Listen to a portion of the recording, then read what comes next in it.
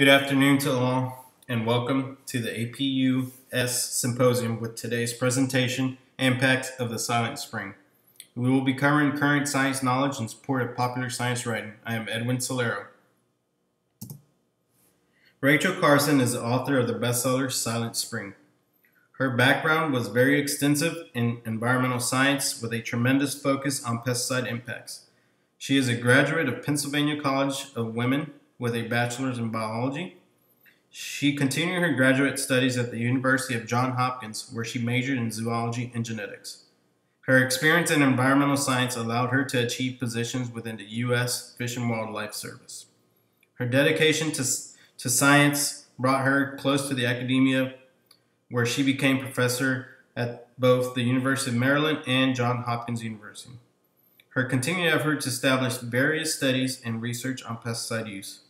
Her dedication to the environment and wildlife raised awareness in the U.S. She published numerous articles and books which highlighted the concern of pesticide overuse. A few other books written included The Sea Around Us and Under the Sea Wind. Rachel Carson's famous Silent Spring became a wildfire in the U.S. The book raised many concerns and realities around the country which highlighted the continued abuse of pesticides. Several factors highlighted in the text included harmful pesticide residual and overuse.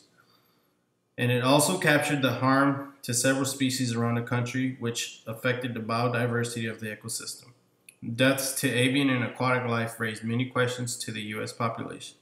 This eye-opener really gave an insight of lack of accountability in pesticide operations around the country. The writing was an essential piece to the evolution of our environmental laws in our country. This led to many important agencies and regulations. The concern of which Rachel Carson is addressing in her work is the negative impacts associated with the overuse of pesticide. This includes soil degradation, water contamination, enhanced pesticide residual in food, and water and wildlife deaths.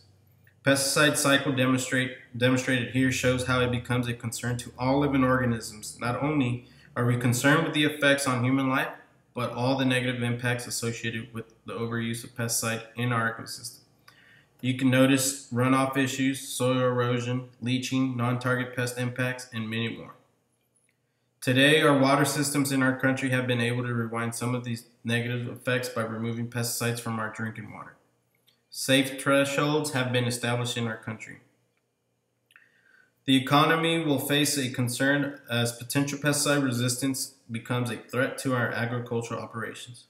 The natural balance has been manipulated by the use of human created chemicals, which in the end will negatively impact our society. Pesticides were used worldwide with very limited accountability. This led to hazardous residuals. The most commonly used pesticide during this era was DDT. Dated legislation did not provide oversight of pesticide, and the lack of regulation led to the conquest that Rachel Carson established. The use of DDT, however, was a fundamental tool in the elimination of malaria in the U.S. Reporting found that approximately 4 million applications were completed in 1949. By, uh, by 1966, the Department of U.S. Agriculture estimated 27 million pounds of DDT used. Production of pesticide and other chemicals were on the rise during this time period. Rachel Carson opened many people's eyes to the exposures of pesticide in our country. Her dedication her dedicated work allowed many readers to understand the negative impacts on our environment. She addressed many issues associated with, with our wildlife and human exposures. The publication raised many questions and allowed government officials to address these concerns. Years after the publication, Silent Spring research and other reports collected the effects of pesticide overuse. The Mississippi River fish kill incident raised awareness of how important it was to act immediately in order to protect our environment. President John F. Kennedy addressed many of the concerns associated with pesticides in the President's Science Advisory Committee. Her work continued to address harmful impacts associated with pesticide use. Rachel Carson's hard work and writings allowed the federal government to act on the concerned use of pesticide. Many federal regulatory guidance was produced after her publication. You will notice many common acts in our government today. Her foundation established a pathway to protecting our environment.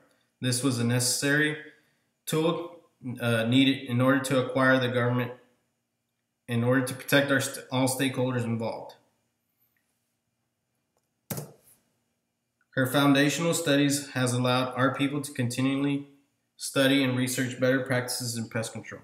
Research and development include prevention of pesticide resistance and genetically modified seeds, which can repel pests and invasive species from attacking other crops, while limiting the use of pesticide.